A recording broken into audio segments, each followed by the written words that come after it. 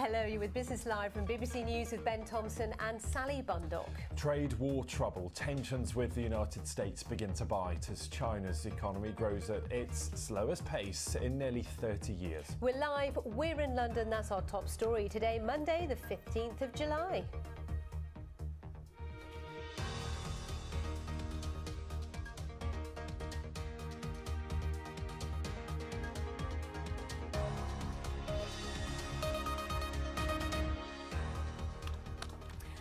The world's second biggest economy grew by 6.2% in the three months to the end of June. So, will it push the government in Beijing to inject more stimulus and even try and strike a deal with the US?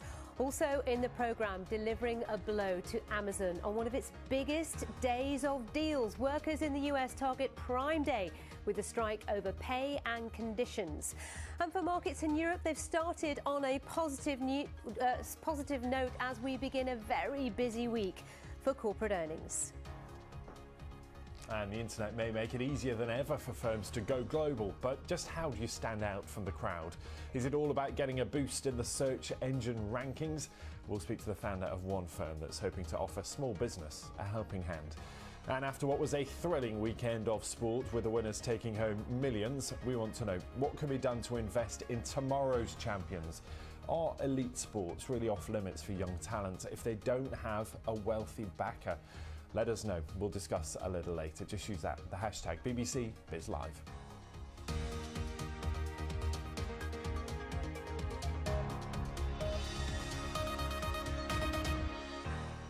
A very warm welcome to the programme. Let's catch our breath, shall we, after that crazy day of sport on Sunday. And we begin to talk you through what's happening in the world's number two economy, China. It grew at its slowest pace in almost three decades in the three months to the end of June.